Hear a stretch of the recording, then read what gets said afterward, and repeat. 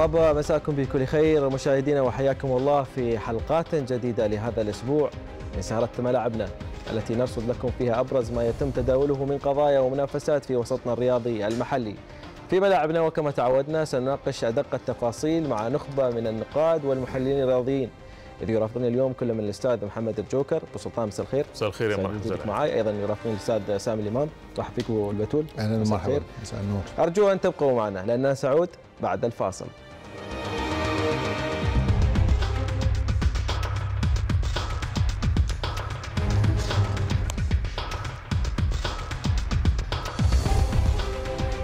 في حلقة اليوم من ملاعبنا سنناقش في المحور الأول انطلاقة جولة جديدة وهي الرابعة من دوري أبطال آسيا لكرة القدم. وفي الجزء الثاني سنحلل مدخلات ومخرجات ورشة العمل الفنية التي عقدتها لجنة دوري المحترفين. وفي الجزء الثالث والأخير سنقدم للحفل الكبير الذي يحضر له اتحاد كرة القدم مساء يوم غد الثلاثاء لتقديم كأس رئيس الدولة بحلتها الجديدة.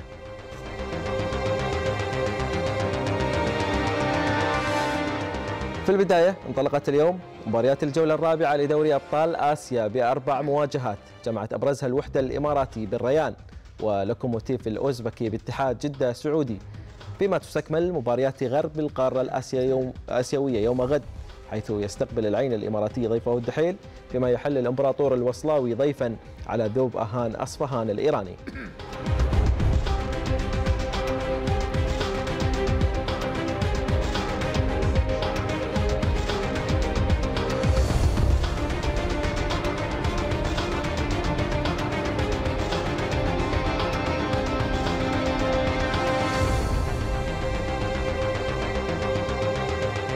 البداية ألف مبروك لفريق الوحدة فوزه اليوم على الريان بأربع أهداف مقابل ثلاثة.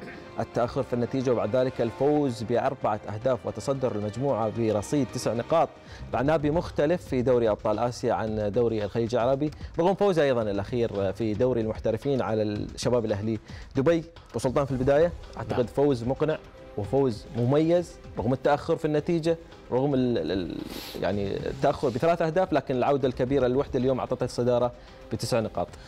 الحقيقة آه، أكرر تهنئتي بالإضافة لتهنئة لفريق أصحاب السعادة على هذه النتيجة الجيدة والأداء المشرف آه، المشرف اللي قدموه والعرض الكبير الحقيقة اللي قدمه ونجح السيد تين كات المدرب الهولندي في إعادة آه، الفريق ومن خلال تغييراته واستبدالاته التي قام بها استطاع فريق الوحدة أن يتمكن من تحويل الخسارة إلى فوز كبير وخاصة أمام أيضا نادي له تجربة كبيرة في عالم كرة القدم. الوحدة في هذه المباراة أكد علو كعبه نجح الحقيقة من تحويل الخسارة إلى انتصار. ساعده بأن يتصدر برصيد تسع نقاط. ساعده على ذلك هو التجانس والإصرار والروح والأداء الرجولي والأداء القتالي اللي قدموه. فريق الوحدة في هذه المباراة أثبت مما لا يدع مجال للشك بأنه من الفرق ذات الإمكانيات رفيعة المستوى من الفرق التي يمكنها أن تغير مجرى المباريات في أي المقابلة سواء محلية أو قارية. شاهدناه في الدوري عندما تغلب على الطامح الشباب أهل دبي بهدف مقابل الشيخ بملعبه. شاهدناه اليوم وهو أيضا يقدم عرضا يتناسب مع إمكانيات النادي لأنه يطمح بعد أن خسر فرصته من الفوز في بعض البطولات المحلية. الآن التفكير الحقيقة جديا. إدارة النادي تدرك أهمية أن يكون الوحدة بصمة جديدة في عالم بطولات آسيا لكرة القدم التي أصبحت لا تقل عن كأس أمم آسيا النهائية. فالفوز اليوم أنا في اعتقادي يعطي دفعة لممثلي الوطن من أجل إثبات قدراتهم وجدارتهم من أجل أيضا رد الاعتبار. فالفوز الحقيقة سعيد لأصحاب السعادة. كابتن سامي بالنسبة للوحدة يجب أن أثني على تنكات وأن سبق تم انتقاد تنكات اليوم بإدارة المباراة رغم التأخر وأيضا إدارة التغييرات في المباراة السابقة. رغم غضب ليوناردو في مباراة شباب الأهلي على إخراجه وأيضا شفنا الجدل اللي أحدثه ليوناردو كان ممكن مدرب آخر ما يشارك اليوم. لكن ليوناردو اليوم شارك وأحرز أربع أهداف يتصدر هدافي بطولة دوري أبطال آسيا بست أهداف. عمل عمل كبير اليوم ليوناردو بثقة المدرب تنكات هو طبعا إحنا نبارك لهم دبل مرتين لأنه فازوا في الدوحة وفازوا في أبو ظبي. وبالتالي تأخذ من الريان ست نقاط شيء ممتاز تتصدر وتضعه في أسفل المجموعة. آه، وهو فريق طبعا إحنا نعرف يمتلك عناصر وكان داخل آه، يعني يريد التأهل. فالحصول على ست نقاط منه هذا شيء يدل على شخصية الوحدة وعلى العمل الكبير اللي عملوه في إدارة المباراتين حقيقة ذهاب وإياب. إحنا نعرف اللاعب البرازيلي عموما لاعب آه، مزاجي إلى حد كبير، خصوصا اللاعبين المبدعين مزاجيين، يجب أن تتعامل معهم باحترافية. اللاعب المزاجي إذا كان المدرب دون المستوى، إذا كانت إدارة النادي غير قادر على احتوائه يكون عبء على الفريق. لكن إذا كان المدرب صاحب خبرة كبيرة، الإدارة صاحبة خبرة كبيرة يت يستطيعون احتواء اللاعب لذلك ليوناردو مثل مثل أي لاعب برازيلي لامع عنده شوية مزاجية أنا راح تتعامل معاه باحترافية. راح أرجع لك وأرجع أيضا لنقطة ريفاس اللي سبق وأن لعب في دورينا لكن يسعدنا أن ينضم إلينا سعادة أحمد الرميثي رئيس مجلس إدارة نادي الوحدة. رحب فيك ومساء الخير وألف مبروك على الفوز. أه، مساء الخير أخوي علي وسلامي للاستاذ محمد الجوكر والكابتن سامي. والله يبارك فيك ومبروك للجميع. في البداية نبغى نعرف يعني الأجواء في غرفة الملابس خصوصا إذا ما أنت كنت متأخر في النتيجة وتفوز بأربع أهداف مقابل ثلاثة، خصوصا أيضا إن الفوز ذهابا وايابا على فريق الريان. بطبيعة الحال إنك تبدأ المباراة أخوي علي وأنت في أول خمس دقائق متخلف بهدفين يشكل عبء كبير على اللاعبين ولكن الحمد لله سير المباراة آه، سمعت اطراف من حديثكم المدرب كان له دور كبير في ضبط المباراة آه، والحمد لله رجعنا في الوقت المناسب آه، كان ما كان عندنا شك في أن الفريق ممكن يسجل ولكن وضع مثل هذا وظروف مثل هذه ممكن يكون عليك آه، مرتدات أو آه، يعني ما تقدر تحصل مرماك ولكن الحمد لله صارت الأمور مثل ما رأينا. أعتقد الأجواء جدا سعيدة في غرفة تبديل الملابس. آه، طبيعي أخوي علي نحن تدري على المستوى المحلي يعني ما وصلنا في بعض البطولات المهمة رغم التجهيز ورغم البداية القوية للفريق وحصولنا على السوبر في مستهل هذا الموسم. آه، فكان هناك في رغبة كبيرة آه، التعويض آه، من خلال البطولة الأسيوية وخاصة أن فريق الوحدة ما يمثل نفسه في هذه البطولة يمثل البلاد ويلعب باسم دولة الإمارات. وبالتالي كان هناك في تركيز عالي على هذه البطولة، الفرحة كبيرة. أنا يعني في هذا السياق أحب أن أشكر جماهير الوحدة اللي عودونا دائما أنهم على الوعد دائما أشكر أيضا الأندية اللي بادرت بتسهيل مهمة بعض الروابط وبعض الجماهير وبعض الجماهير اللي حضروا بإرادتهم إلى استاد الهيان. فشكلوا ملحمه جيده وحضور جماهيري مميز في دعم الفريق. بالنسبة لتنكات أرجع وأقول يجب أن نثني على عمل المدرب في الفترة الماضية وأيضا حتى هذه المباراة. أيضا مثل ما قلت أنا قبل قليل مع الأستاذ سامي الحديث عن ليوناردو وأداء المميز في المباراة الأخيرة وغضب ليوناردو لتبديله لكن شفنا ثقة المدرب في ليوناردو وإحرازه لأربع أهداف اليوم عمل كبير بالنسبة للمدرب تنكات أكيد هذه جزئية مهمة آه، مثل ما تكلم الأستاذ سامي اللاعبين النجوم لابد أن يكون في هناك آه، يعني توازن وطريقة آه، مثلة في التعامل معهم. نجح آه، لحد كبير تيكات في هذه الجزئية وسخر اللاعب لخدمة الفريق. أيضا تعاون زملائه معه يعني يعني واضح. اليوم دخول الكابتن إسماعيل مطر في الشوط الثاني يعني ساد من الزخم الموجود. تيكات له بصمه أعطى الثقة في بعض اللاعبين اليوم نحن يعني آه، وجود آه، منصور الحربي بنص الملعب يلعب في في يعني المعترك الأسيوي شيء مش بسيط أيضا في بعض النجوم الصاعدين اللي جايين فاعطاء الثقة للاعبين حافز يعني المدرب نجح لحد كبير والجهاز الإداري يعني للفريق أن نفصل ما بين النتائج الموجودة على المستوى المحلي في بعض الأوقات. لأن مهما كان حتى لو كنا نحن نفوز في بعض المباريات الفريق يعني آه، يمر بمنعطفات طالع ونازل ولكن آه، التركيز آه، في البطولة الأسيوية يعني ابتداء من مباراة الاتحاد صارت في مسار التصاعد. أنا بتوقف عند حركة لا اخلاقيه كانت من ريفاس واللي سبق أن لعب في دورينا وأيضا في الدوري السعودي. هل راح تتوقفون إياها أو تقدمون شكوى خصوصا أنه هو تعدى على الجمهور الوحداوي؟ طبعا نحن جمهورنا خط أحمر لابد ان الواحد ينضبط ويكون غدوه نحن دورنا أنا ما أبغى أعلق عليها يعني يعني بالحركة نفسها ولكن في هناك مسار قانوني نحن بنقوم فيه طبيعي نحن قمنا بتقديم احتجاج لمراقبة المباراة والصورة مصورة وواضحة وطبعا أكيد يعني ننتظر ان يكون في إجراء فيها. باقي مباراتين أعتقد أيضا المباراة القادمة لكم وتيف وأعتقد لازم تثار من الفريق خصوصا إنه هو تغلب على الوحدة بنتيجة كانت صعبة شوي في في الموسم الماضي وأيضا في هذا الموسم. نحن ننظر لنفسنا نحن ما صعدنا إلى هذه اللحظة.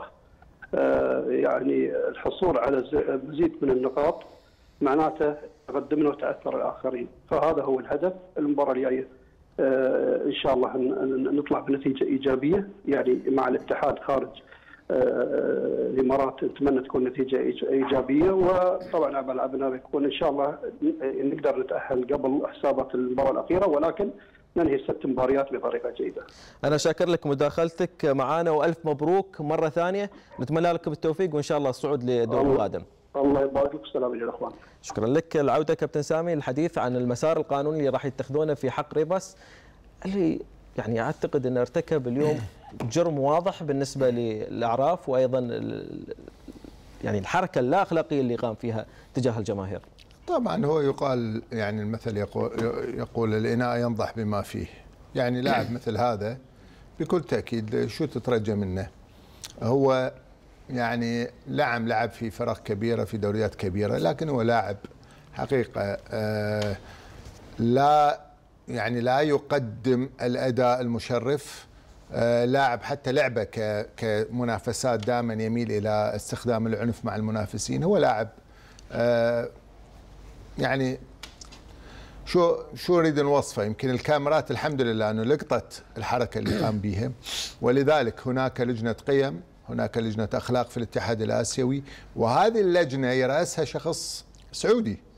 آه فيفترض أنه أيضا يكون الهيئة الانضباط أو لجنة القيم. آه يجب أن تأخذ آه الإجراءات لأنه إحنا يجب أن ننظف ملاعبنا من هذه. هذه البطولة هي نخبة البطولات في آسيا وبالتالي ما يظهر على الشاشة يجب أن يكون النخبة. يجب أن تكون هناك غرامة على اللاعب وربما على النادي ويجب يعني أن إحنا شاهدنا أمثلة سواء في دوري أبطال أوروبا الحركة اللي قام فيها سيميوني وقعدت الدنيا و كان ممكن مع العلم هو احتفل. يعني كان احتفال. احتفل ما ما ما أه يعني ما أيضا رونالدو رونالدو رد عليه رونالدو رد عليه بنفس الحركة كان ممكن إيقافه أيضا. ضجة كبيرة صارت. أعتقد إن يعني هذه الأمور لا يجب أيضا أن تمسكوا عنها. لاعبين عندنا سواء يعني أمثلة كثيرة ما أريد نسترسل فيها. لاعب أهان زميله شتم زميله. داخل الملعب لم يسمعها أحد. سوى اللاعبين والحكم ومع ذلك تم إيقاف اللاعب. ثلاث مباريات لأن شتم زميله. فما بالك وأنت تقوم بحركة غير أخلاقية أمام شاشات يتابعوها الملايين؟ يجب أن تكون العقوبة مغلظة ويعني هذا يكون عبرة لغيره. إذا إذا يريد الاتحاد الآسيوي لكرة القدم أن يثبت إنه هو اتحاد حازم وصارم. ما فيها مجاملات ما فيها مهندي وغير مهندي. يجب أن يكون إجراء صارم تجاه أي لاعب يتجاوز ويخرج عن عن القانون. أه بس أنا أحب أضيف ما تفضلت فيه في البداية غير هذه الحالة اللي إن شاء الله يعني ما ما نعطيها أكثر من حقها. يوم تأخذ القانون يأخذ حقه. الوحدة شخصيته ظهرت لما أنت تخسر أول مباراة 2-0 ثم تفوز في ثلاث مباريات متتالية وتتصدر المجموعة هاي حقيقة شخصية نعتز بها وندعو كل فرقنا اللي يتعثر أول مباراة أو ثاني مباراة عليه أن تكون هذه أمام عينه إنه مو بامكانك أن تسقط أول مباراة لكن بإمكانك أن تعود وتتصدر. أبو سلطان أنا أرجع لنفس اللقطة، أرجع لنفس الأخلاق شو تعليقك على لاعب كان موجود عندنا ولعب في الدوري السعودي وأيضا اليوم يرد على الجمهور بطريقة لا أخلاقية؟ تعليقي هو أن آه، أن لجنة المراقبه المباراة سيكتب تغريدة كان هو صادق مع نفسه ما حصل. وأنا أعتقد أن على الأخوة في اتحاد كرة القدم عن طريق نادي الوحدة برفع مذكرة في هذا الخصوص مع هذه اللقطة إلى لجنة الانضباط والاتحاد الأسيوي المشكل آه، مؤخرا. وبالتالي آه، التعليق طبعا مرتبط برفض الأسلوب والتصرف لأنه تصرف لا أخلاقي وبالتالي أنا أعتقد أن الاتحاد الأسيوي آه، يرفع شعار اللعب النظيف يرفع شعار العدالة يرفع شعار البيت متوحد وبالتالي من من من مسؤولياته أن يقوم الاتحاد الأسيوي آه، أبو أحمد في يعني إثراء آه، عملية نظافة الملاعب وعدم إدخال خصوصا ان في أطفال يحضرون في المدرجات والمباراة منقولة منقولة ومتابعة لأن بين فريقين لهم قاعدة جماهيرية في بلديهما وبالتالي الاتحاد الأسيوي الحقيقة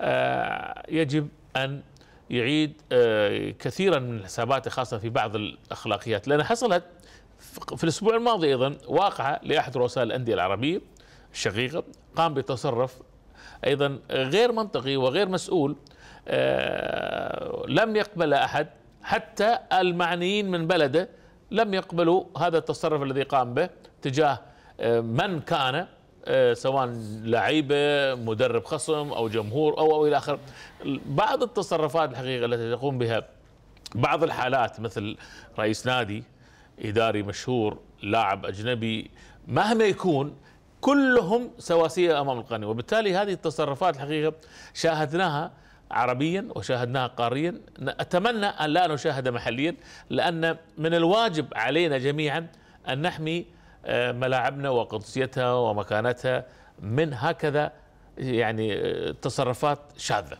عموما ريباس عبر عن الحقد اللي موجود في قلبه خصوصا أنه هو موجود في بيئة محفزة لهذه الأحقاد، آه، كابتن سامي بالنسبة للعين متذيل جدول الترتيب في المجموعة الأخرى. عند الحظوظ باقيه لأن ثلاث مباريات اثنين منها على أرضه.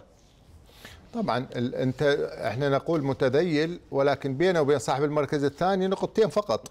يعني نتيجة مباراة واحدة تقلب المقاييس. وبالفعل إحنا العين عودنا. العين عودنا من موسمين أو ثلاثة لما صعد النهائي كان خسران أول مباراتين. نتذكرها. ومع ذلك تأهل للنهائي. الآن العين وقد ابتعد عن صراع اللقب الدوري المحلي وهو خارج حسابات الكاس. أتمنى أن يركز على البطولة الآسيوية وأكيد هو هذا اللي راح يكون. شيء آخر العين قدم لنا نخبه من اللاعبين الشباب المقاتلين الممتازين. في المباراة الأخيرة امام الشارقه في المباراة الأخيرة برغم أنه عمليا ليس لديهم نسبة عالية في المنافسة على اللقب لكن قاتلوا من أجل اسم الفريق. وأثبتوا إن هم أجدر من نجوم لا يؤدون المطلوب. لذلك أعتقد بوجود هؤلاء اللاعبين بنفس العقلية بنفس الروحية اللي لعبوا بها قادرين على أن يقلبون الموازين خصوصا مثل ما تفضلت أنه اثنين من هاي المباريات الثلاث اللي متبقية ستكون على أرضه في استاد هزاع. أنا واثق تماما أنه العين قادر على التأهل ويعني آه، يمكن ليس المهمة أصعب من مهمة الوحدة لكن هي ليست مستحيلة. العين قادر خصوصا إنه الدحيل مثله مثل الريان دخل البطولة بهالة من التطبيل ويضم نخبة من لاعبين المنتخب الكذا والكذا ومع ذلك شفناه تعادل في الدوحة 2 2 ومع مع العين وبالتالي العين قادر أن يفوز عليه كما فعلها الوحده وفاز على الريان. قبل ما أنتقل للوصل في أزمة بالنسبة للاعبين العين مع الإدارة، في رد قاسي أيضا من الإدارة على مسألة تجديد عقود اللاعبين وأيضا في تكتم. طبعا آه، النادي كل نادي له سياسة في التعامل مع لاعبيه وله سياسة في التعامل مع الاعلاميين ونادي العين يمكن أنا عشت فيه منذ بدايات عملي الصحفي. التكتم سمة من سمات العمل داخل النادي. هناك الحقيقة آه، إصرار على العيناويه على كل أزماتهم مشاكلهم إذا كانت موجودة تكون داخل إطار الأسرة الواحدة إطار المنظومة الواحدة. وهذا في حد ذاته أنا في اعتقادي في نوع من الانضباطية والاستقرار. لكن ما حصل أن في الآونة الأخيرة بدأ بعض اللاعبين آه، ينتقدون الإدارة ينتقد أو يتمرد؟ لا ينتقد آه، أسلوب التعامل والبعض يتمرد. التمرد بين قوسين للاعب الذي سيذهب للدوري البلجيكي. أنما الذي ينتقد كانوا هم آه، نادي العين خلقهم أو بمعنى أصح نادي العين هو الذي صنعهم وأصبحوا نجوم والسبب نادي العين وبالتالي خروج هؤلاء أو خروج هذه الفئة من اللاعبين وانتقادهم للإدارة في هذه الظروف في اعتقادي آه، يعني أنا في رأيي يعني بين قوسين تسميه ناكر الناكر الجميل. فبالتالي ناكر الجميل اليوم أصبحوا كثار في الساحة الرياضية. من ينكرون الجميل من ليس لديهم وفاء. وبالتالي هذه الحقيقة تؤدي إلى آه، جزئية طرح. هل اللاعب لديه ولاء لناديه الذي تربى وتعلم وكسب وحصل ما حصل عليه؟ أم اللاعب الذي يأتي ل- لهدف معين فترة مؤقته يذهب. لعيبة العين غالبيتهم يعني تم آه، يعني آه، تأسيسهم من الأكاديميات ومن ثم المراحل السنية وأصبحوا لعيب له مكانتهم اليوم هناك أزمة. لابد أن نعترف أن هناك في أزمة ما. لكن طبيعة الجو العمل بإدارة نادي العين أنا أعتقد أن هناك في اختلاف داخل المنظومة كرة القدم في نادي العين. هذا الاختلاف مؤدي إلى تشكيل فريقين مختلفين في آرائهم وفي وجهات نظرهم وبالتالي نجد هناك من يؤيد فكر وطرح معين وهناك من يعارضه. هذا الاختلاف الإداري في اعتقادي انعكس على عدم انعكس سلبا طبعا. انعكس سلبا. لذلك والمباراة عجمان كانت خير دليل على ذلك ولكن أثبت العيناويه في حزم القرار اللي اتخذوه في مباراتهم أمام الشارقة بخروج بالتعادل بتغيير شامل حوالي 70 ل 80% من اللاعبين ومشاركة اللاعبين الشباب. هذا يؤكد على أن العين بمن حضر. أنا أتصور لكن لكن أبو سلطان يعني أيضا صحيح أن اللاعب اللي ينتقد فريقه في الأوقات الصعبة هو ناكر للجميل هذا متفق عليه. لكن نعم. أيضا اللاعب يبغي يضمن مستقبله لأنه ما قدمه. دخل في فترة الست أشهر أو إنه في صحيح. مرحلة تجديد العقد. هذا كلام صحيح. فضمان ما المستقبل أيضا مطلب هذا كلام صحيح. لكن اليوم خلونا نكون واقعيين. لعي- اللعيبة اللي, اللي خرجوا من الأندية من بطن الأندية الكبيرة قدموا آه، وفروا مستقبلهم ومستقبل حتى أحفادهم. يعني آه، مثل نادي العين وفر إمكانيات للعيبة لا لا يحلم فيها في أي مكان يذهب. وبالتالي أنا أعتقد أن عنصر ال- الوفاء مفروض تكون في الرياضي صحيح نحن في عالم الاحتراف وموضوع العقود إلى آخره.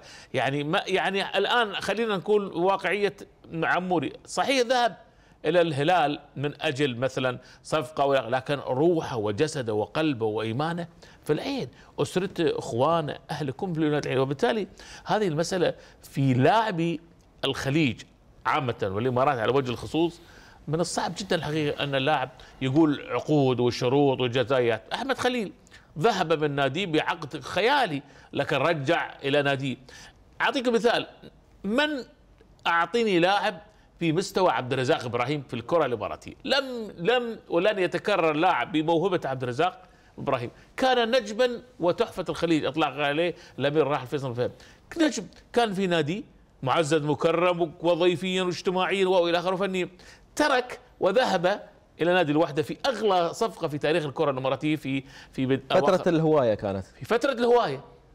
اختفى. ليش؟ خ- اختفاء النجوم عندما يخرجون من مكانهم موقعهم ومن ناديهم يؤثر عليهم. أنا في أتصور هذه نصيحة لكل لاعب من يسمعني عليه أن يركز لأن المستقبل في النادي الذي تربيت فيه المستقبل هو في النادي اللي نشأت فيه المستقبل هنا النادي. اليوم الظاهرة تحدثت فيها أنا الحلقات الماضية ظاهره آه، الغاء التفرغ وهذه قضية حدوتة لوحدها. فهمتني؟ آه، التفرغ وخروج بعض اللاعبين من منظومة الهوية الاحتراف بأن يداوم صباحا. لا هو مش خارج منظومة الاحتراف لأنه هو يداوم وأيضا لاعب محترف. هذا يعني لا يجوز. هو لازم يختار واحد من الاثنين. احت- اعتمادك الكلي على آه هذا الرزق التي آه، ترزق وراء لك والاسرتك هو لاعب كرة القدم. إنما يعمل ويلعب هذا ما هو موجود في منظومة الاحتراف. نذهب بشكل سريع للوصل. كابتن سامي راح يذهب لإيران بطيارة خاصة. لكن هي فترة لإعادة ترتيب البيت من الداخل بالنسبة للوصل. نعم. أحيانا لما تبتعد تطلع من المنافسات يك- يكون عندك تركيز واضح على الهدف. الآن الوصل مع الأسف آه، يعني محليا أيضا تراجعت نتائجه وخسر آخر آه، تعادل. آخر مباراة مع الفجيرة بعد ما كان متقدم 3-0 هذه الأمور تولد ضغط. ال- المدرب عاده المدرب عادة يبحث عن البقاء. ريجي كامب حقيقة غير مستقر لا يعرف باقي أو غير باقي. أعتقد في في مقاييس ريجي كامب الدوري أهم لأنه يريد أن يحسن ترتيبه. ويحاسب على هذا الأساس. أنا لا زلت أتحدث يعني سبق وتحدثنا في استديوهات التحليل. أيضا ما ابغي اطيل في نقطة ريجي كامب.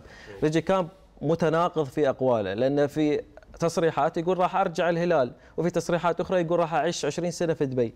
الرجل مش مركز. لا وإحنا يمكن تحدثنا أحيانا لما يجيك صحفي يسألك يقول لك هل تحن للهلال؟ يجب أن تكون يعني فتقول يعني أيضا حذر. الهلال فريق كبير. ما تقول له لا شو الهلال نسيته ونسيت ايامه أحيانا المجاملات تؤخذ.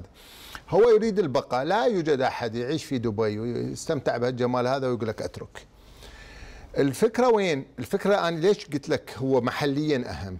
لأنه في رايي الوصل بهذه الوضعية لا يستطيع يلعب على. جبهتين ابدا. ولهذا سيذهب يلعب في ملعب صعب ذوباهن الزوراء تعادل هناك. لك آه لكن الفريق الإيراني الآن في وضعية يعني وضعية جيدة يتصدر المجموعة ولذلك هو يريد تعزيز صدارته. سيلعب مباراة قوية جدا أمام الوصل. الوصل هل يستطيع أن يلعب 100% في إيران ويرجع يحافظ يلعب 100% في الدوري المحلي لتحسين الترتيب؟ أجدها صعبة جدا. لا يوجد شيء مستحيل لكن صعبة. الوصل حقق فوز على النصر في بداية مشواره في البطولة النصر السعودي الممتلئ بالنجوم وكانت نتيجة حلوة. لكن وراها تلقى هزيمتين. لذلك مش صعب على الوصل. يعني مش صعب على بما الوصل. فيها أمام ذوباهن في دبي 3-1 هي المباراة ليست مستحيلة لكن أجدها صعبة. الوحدة ترك الدوري المحلي مركز على الآسيوية. العين نفس الشيء ترك الدوري المحلي.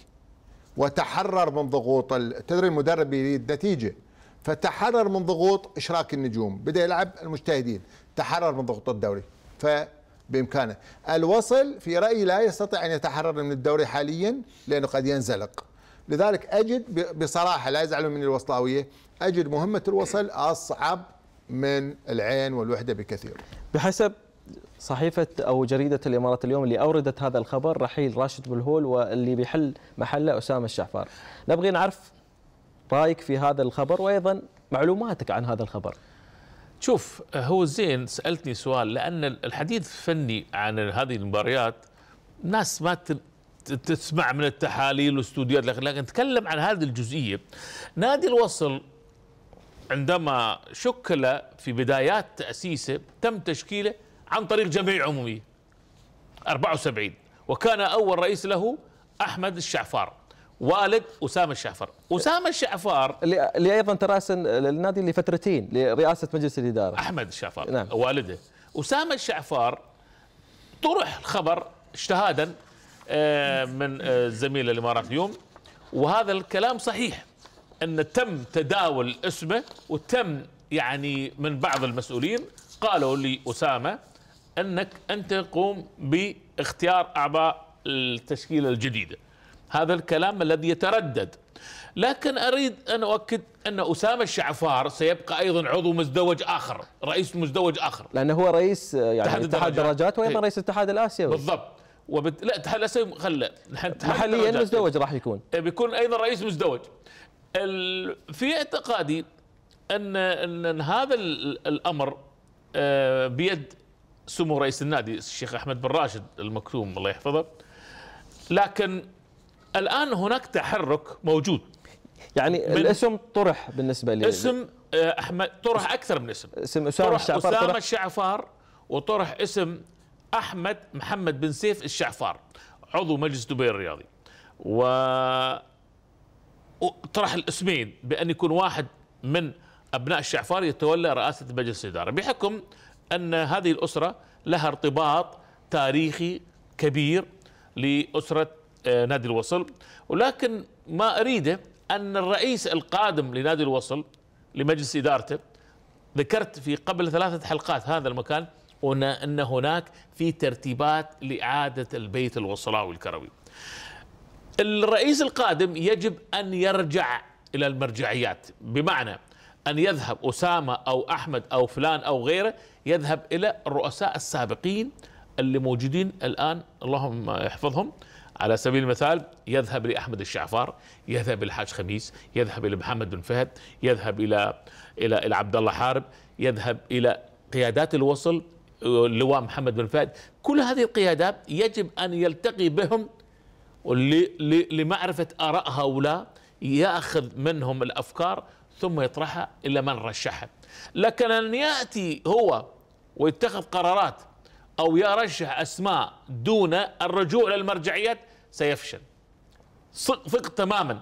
نادي الوصل طبيعة نادي الوصل تختلف عن بقية آه، الأندية الأخرى لأن آه، في مج- مجموعات تنحاز لأشخاص وتنحاز لانتماءاتهم لهذه الأفراد. وبالتالي المجموعة الحالية الموجودة بذلت مجهود طيب وجهودها مشكورة لكن نتائجها وسلبية أداء الفريق ما ساعدت ما ساعدت. الحالية. زايد أن الإدارة شوي بعيدة عن الإعلام بعيدة عن نفسها تجتمع اجتماعات آه، ما حد يدريبها. ال- الإدارة الموجودين غير معروفين اللهم اثنين ثلاثة. العمل يعني معتمد على اثنين أو ثلاثة. آه، إلغاء اللجنة الفنية التي أثارت كثيرا من الجدل مع ذلك أبو أحمد نادي الوصل يتمتع بإدارات على مستوى عالي جدا خارج المنظومة الحالية في وصلاوية سواء لاعبين أو مدربين أو حتى فنيين عندهم المكانة الطيبة في المجتمع الرياضي أن يصبحون يوم من الأيام يتولون المسؤولية. أعتقد أن ال نسبة كم ابو سلطان تأكد انه ممكن يكون الرئيس القادم أحد أبناء أسرة الشعفر يعني هذا سؤال أيضا هذا من هذا الوصلاوية. هذا طرح. من الوصلاوية. نعم هذا في طرح. نسبة كبيرة؟ آه، طرح لكن يتوقف لأن نادي الوصل له ال- ال- المرجعية الكبرى وهو اسمه الشيخ أحمد. لا يمكن أن يتم يعني دون دون الرجوع. لسمو دون. الرجوع للسمو وبالتالي آه، الأخوة الذين آه، رأوا انه يجب أن يتم تغيير المجلس الحالي النتائج سببها. آه، وأعتقد يعني نحن نحن صحيح مع عنصر ونؤيد الشباب يأتون لكن لا بد أن الشباب يرجعون إلى خبرات قدامى نادي الوصل شكل في الثمانينات مجلس الشرف الوصلاوي ما حد يعرف عنه. كان يسمى الهيئة الإستشارية لنادي الوصل. الهيئة الاستشارية الوصل ضمت قوائم كبيرة بدءا من سمو الشيخ أحمد والشيخ بطي المكتوم محمد المكتوم المرحوم راشد بن مكتوم وغيرهم الأسماء. يعني قوائم ضمت حوالي 87 اسم. هذه ال 87 اسم مرتبطين بنادي الوصل منذ كان الوصل يلعب على شواطئ جميرة قبل أن ينتقل إلى مقرة والى آخره. نادي الوصل تاريخ كبير وبالتالي هذا التاريخ يجب أن نحافظ عليه. المحافظة كيف تتم؟ التواصل الحضاري بين الجيل الجديد والجيل القديم لاستكمال مسيرة الإمبراطور. عموما إحنا نتمنى التوفيق للوصل في مباراته في الغد وأيضا أن يستطيع العودة في دوري أبطال آسيا وأيضا في دوري الخليج العربي، عموما نبقى في دوري الخليج العربي حيث عقدت لجنة دوري المحترفين مطلع هذا الأسبوع ورشة عمل المبادرات الفنية التطويرية السنوية بحضور عبد الله ناصر الجنيبي رئيس لجنة دوري المحترفين وأعضاء فريق عمل المبادرات الفنية التطويرية بالإضافة إلى الجهاز الفني للمنتخب الأول وممثلي الأندية المحترفة باستثناء ناديي الشارقه ودبل فجيره اللقاء السنوي بين الأجهزة المعنية بالشؤون الفنية في أندية الدوري يعتبر مناسبة لتبادل الأفكار والرؤى حول حول شخصية وهوية الكرة الإماراتية. حرصا على تطوير المسابقات الكروية المحلية جاءت ورشة عمل المبادرات الفنية التطويرية التي نظمتها لجنة دور المحترفين مليئة بتفاصيل أبرزت حرص اللجنة على تطوير المسابقات من خلال إشراك المدربين والفنيين. الأمر الذي من شأنه أن يعود بالنفع على قطاع كرة القدم في الإمارات. وقع حسب اعتقادي بعض الخلاف اختلافات في وجهات النظر لكن هذا مهم جدا آه، من أجل معناتها الخروج بأفضل الحلول. وشفنا اليوم معناتها عدة آه، آراء فنية اللي كانت قيمة جدا وممكن تفيد آه، تطوير مستوى كرة القدم خاصة على مستوى المنتخبات. العرض المقدم كشف أن مسابقة كأس الخليج العربية قد شهدت مشاركة 106 لاعبا من مواليد 97 شارك 53 منهم لمدة 180 دقيقة على الأقل. بعد التعديل الذي تم تنفيذه منذ بداية الموسم الحالي برفع عدد اللاعبين المسجلين في قائمة المباراة إلى 20 لاعبا على أن تضم ثلاثة لاعبين إماراتيين من مواليد 97 900 وألف. الجزء الثاني من الورشة. تمت مناقشة المبادرات المقترحة للموسم المقبل والتي تشمل آلية تسجيل ومشاركة اللاعبين في دور الخليج العربية تحت 21 عاما وكأس الخليج العربية من خلال اتفاق إبقاء الوضع الحالي المطبق في مسابقة كأس الخليج العربية أما فيما يخص الدورية اقترحت الأندية الرجوع للنظام السابق بإشراك عدد من لاعبي الفريق الأول.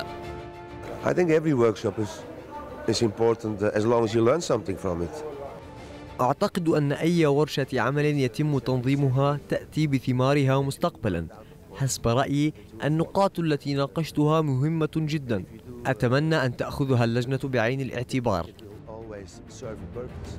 فعالية ورشة عمل المبادرات الفنية التطويرية. اختتمت بعرض مقترح رزنامة الموسم المقبل من حيث موعد انطلاقة الموسم الكروي الجديد ومعسكر المنتخب الأولمبي في شهر ديسمبر 2019 استعدادا لبطولة أمم آسيا تحت 23 سنة والمؤهلة لأولمبيا طوكيو 2020 في, في الأساس هي إن يبقى الدوري قوي وده طبعا إن أنت تعمل مسابقة زي مسابقة الكاس أو الدوري ب 15 8 عمرها ما تدي قوة لأن طبعا الجو ده فيه استحالة اللعب فيه. فالحقيقة ده كان شوية أبرز ما حدث اليوم هو الخلاف في الرؤى ما بين بداية الموسم ما بين المدربين ومدربين المنتخب. ورشة الموسم الماضي التي رفعت توصية بإسقاط الإنذار الثانية حال مشاركة اللاعب في ثلاث مباريات متتالية دون الحصول على أي إنذار جديد. نتج عن تنفيذها في موسم هذا العام إسقاط 66 إنذارا في مسابقة دور الخارج العربية استفاد منها 54 لاعبا.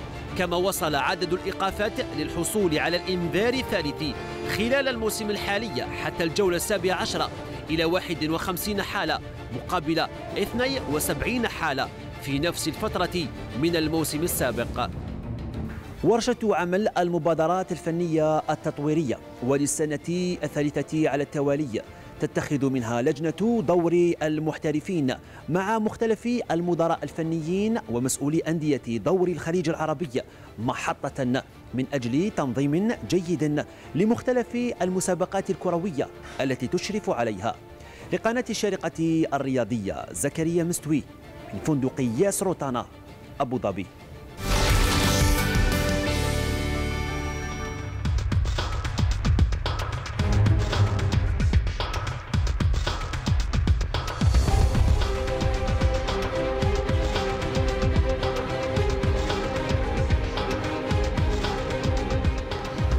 شكرا للزميل زكريا مستوي على هذا التقرير. كابتن سامي بالنسبة لفكرة رائده اعتقد لمناقشه الجوانب الفنية وأيضا الوقوف على إيجابيات سلبيات بالنسبة لدوري المحترفين. مجرد أن تتفرج وتشوف هذه الوجوه جالسة تتحاور مع بعضها البعض تفرح. صح يعني إحنا آه الأخبار اللي طلعت آه تدل على عمق وتنوع المواضيع اللي تم مناقشتها وهذا شيء رائع تجمع إداريين تجمع فنيين من الأندية مع مسؤولين رابطه دوري المحترفين هذا شيء ممتاز نشيد بجهود الرابطة في هذا المجال خصوصا ان هاي ليست أول مرة وإنما ثالث مرة وهذا يدل على انه النهج تقبلته الأندية وحبته ووجدت به أثر. أيضا ما ما يعني ما نشر من أخبار إنه آه، النقاش وعدم القبول خصوصا في عدد الإنذارات إطفاء الإنذارات كما يسمى أو جدولة المو... انطلاقة الموسم المقبل من منتصف آه، أغسطس. أغسطس واعتراض بعض الأندية هذا يدل على أن النقاش كان جدي حقيقة نحيي آه، لجنة دوري المحترفين نحيي اللي تحدثوا جميعا ومجهود طيب من اللجنة ومن الأندية بالتواجد والتحاور لأنه بالفعل كلا الطرفين أصحاب العلاقة موجودين المنظم والمشارك. وبالتالي فرصة أن تتحاور وجه لوجه وأن تبدي رأيك وأن تحشد مؤيدين لهذا الرأي أو ذاك الرأي من خلال مجموعة جالسة في غرفة واحدة. النقاش ولما يكون نقاش من مختصين هو هذا من أحد أهم وسائل التطوير. أيضا خبر مفرح تسرب من هذا الاجتماع اللي هو زيادة عدد دقائق أو معدل عدد دقائق اللعب الفعلي. الآن أصبح معدل دقائق 51 دقيقة هذا المباراة يعطي انطباع جيد. جيد. يدل على أن هناك مجهود هناك عمل. بذل تم الارتفاع من خلال سبع سنين أو سبع أو ثمان مواسم من 38 دقيقة معدل لعب فعلي إلى 51 دقيقة معدل لعب فعلي وهذا شيء جيد. بالنسبة للأفكار وهذه الاجتماعات أعتقد أن أمر جيد إنه يكون في سبق في تطبيق هذه الأفكار، لكن يجب أن تكون هناك جودة أيضا في تطبيق الأفكار وأيضا النقاشات في هذه الاجتماعات. هو الحقيقة لا نضيف أكثر مما قاله زميلي الأخ سامي آه، بس في حد ذاتها الجلوس الفنيين معا لأول مرة بهذه الطريقة.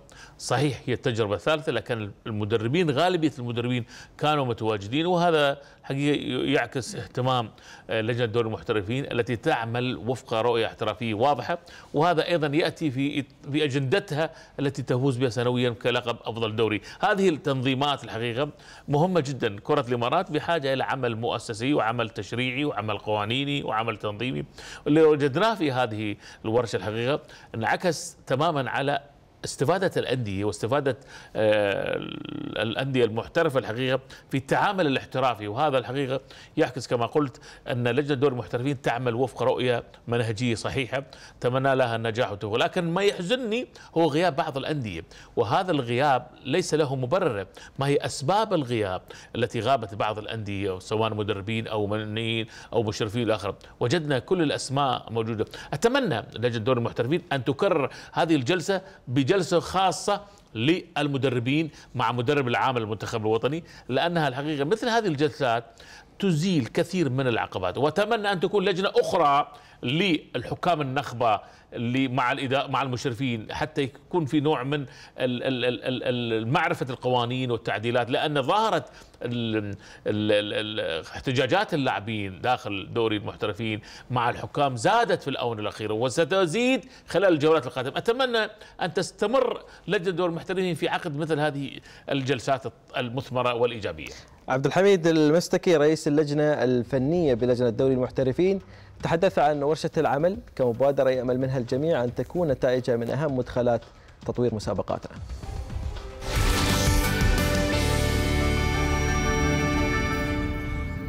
اليوم عندنا آه، المدربين 11 نادي من الأندية المحترفة. اليوم عندنا المسؤولين عن المنتخب الأول وعندنا أيضا المسؤول عن الفني للاتحاد الكرة.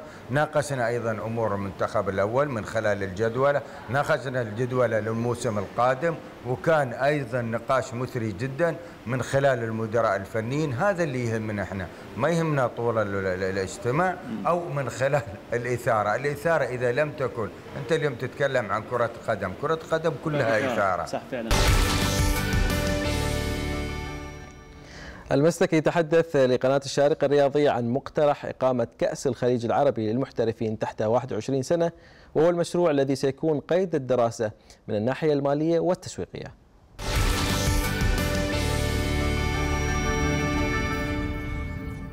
هو أول شيء إنه راح يكون هناك السنة كأس. لنناقش وتحدثنا في انه هل يكون هناك كأس لل 21 سنة. لأن تعرف ال 21 سنة يعني نريد أن نزيد لهم في المباريات ونزيد بطولة أيضا.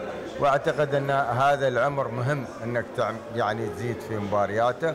واقترحنا جانا اقتراح من من الأندية انه يكون هناك بعض الأندية انه يكون هناك كأس لل 21 سنة. وناقشناها مع مع الأندية المحترفة. وإن شاء الله راح آه، نرد نشوف يعني إجاباتهم وشو موافقتهم على إقامة الكأس.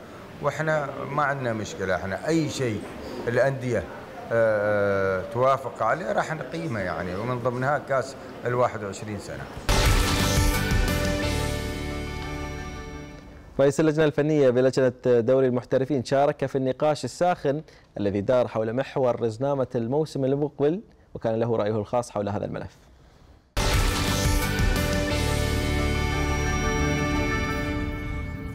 النقاش الكبير صار على أن بداية الموسم مدرب المنتخب ال- لجنة المنتخب م- ال- ال- ال- الإدارة الفنية للمنتخبات طالبت بأن تبدأ الدوري خلال مباراتين لكأس ال- الخليج العربي. من خلال مباراتين من منتصف أغسطس والأندية طبعا قالت كلمتها بأن مستحيل أن تقام مباراتين في هذا التوقيت، التوقيت هذا يكون الحار جدا، الجو حار جدا يوصل الحرارة إلى الخمسينات وما راح تكون الاستفادة كبيرة للمنتخب أو للمدرب حتى إنه يشوف لعيبة آه، من خلال المباراتين هذا. لو وجهنا النقاش ال- إدارة المنتخب تفهمت لموضوع للموضوع هذا ووعدت إنها راح تتكلم يعني ابدت آه، موافقة. انها راح تناقش الموضوع مع المدرب وراح تطرح لنا ال- ال- ال- ال- الآراء الذي اللي أعتقد إنه راح يكون في الصالح العام واللي هو مباراة في خلال آه، يبدأ كاس الخليج العربي من خلال آخر أغسطس. أعتقد هذا ال- الوقت الإيجابي لإقامة آه، أو بداية دوري الخليج العربي. العام بدينا في آخر أغسطس وكان يعني وايد انتقادات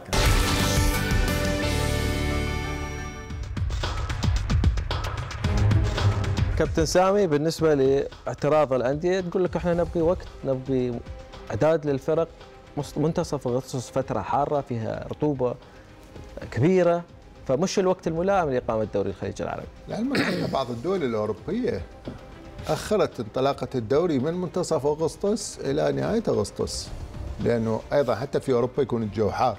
فبالتالي بالفعل يمكن الدوري السعودي ينطلق في أغسطس لكن الطقس يختلف هناك خصوصا إنه مناطق هناك مناطق باردة. أعتقد إنه الأندية محقة.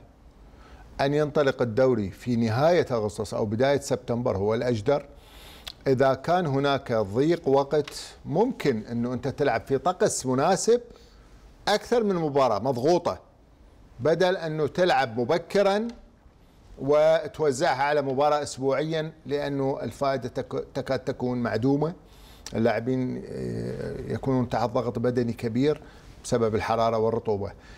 أنت تبدأ متأخر حتى لو بدأت حتى بعد بداية سبتمبر وتضغط المباريات تلعب أكثر من مباراة ربما في فترة مع قليلة.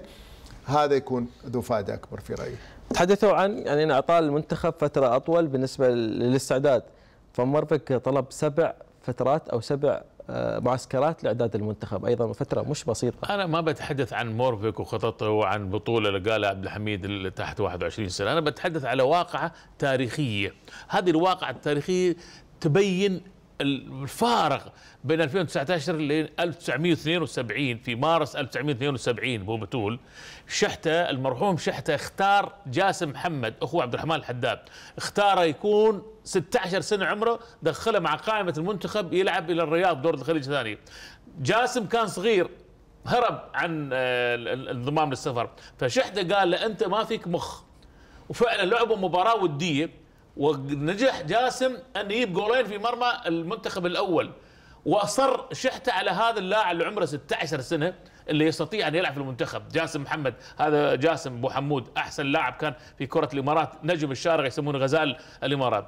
بعد ما رجع شحتة أصر على جاسم عمره 18 سنة وداه دورة الخليج 74 خذ أفضل لاعب في كأس الخليج الثالثة. أنا أستغرب بطولة تحت 21 سنة. 21 سنة. يفترض إن هذا اللاعب خلاص وصل مرحلة المنتخب تق- تقيم البطولة تحت 21 سنة. يفترض إذا عندهم نية يجب إعادة النظر. قال لك صغار هم صغار. 21 سنة صار أنا أرى أن اللجنة الفنية يجب إعادة النظر فيها. بمعنى خلينا نكون واقعيين وبدون المجاملة وبدون يعني بعيد عن ال- ال- المجاملة. حقيقة اللجنة الفنية في دور المحترفين بحاجة إلى محترفين أكاديميين علميين ذو اختصاص معين. ولا نجامل فلان على حساب كرة القدم الاماراتيه عموما نبقى آه، في شغلة عفوا. إحنا اقترحنا فترة وما عجب الإخوان في لجنة المنتخبات. قلنا ليش ما تستغل هالفترة هذه؟ أي الفيفا دايز قبل الصيف. استغلها يا أخي. قال لك كيف نلعب وكيف؟ أنت بحاجه المدرب بحاجة إلى فترات تجمع. بدل أن تبدي الدوري مبكرا حتى تمنح المدرب فرصة ان يشاهد لاعبين كان من الآن تس- تسوي مباريات في, في أي توقف قريب. تعمل مباريات حاليا المدرب يشوف اللاعبين. قبل ما ينتهي الموسم. بفترة التوقف. ويكتسب وي- ويمكن يجرب كم لاعب. تستفيد منهم. أنت كان بإمكانك أن تكسب فترة توقف عفوا فترة تجمع قبل ما ينتهي الموسم. إحنا نتمنى أن أيضا فترات التوقف يستفيد منها فان ماربك وأيضا ننسى اللي صار في كأس آسيا. يقيم اتحاد الإمارات لكرة القدم مساء يوم غد بفندق قصر الإمارات في العاصمة أبو ظبي حفله تدشين النسخة الجديدة من كأس رئيس الدولة لكرة القدم. وهي النسخة الرابعة من الكأس الغاليه منذ انطلاقة المسابقة قبل 45 عاما في موسم 74 75 تعاقب 12 فريقا على الفوز باللقب الغالي طوال العقود الماضية. النهائي الثالث والأربعين في تاريخ بطولة كأس رئيس الدولة. سيجمع هذا الموسم بين شباب الأهلي دبي الذي يحمل الرقم القياسي في عدد مرات التتويج مع الظفرة الذي يسجل حضوره الأول منذ تأسيسه في العام 2000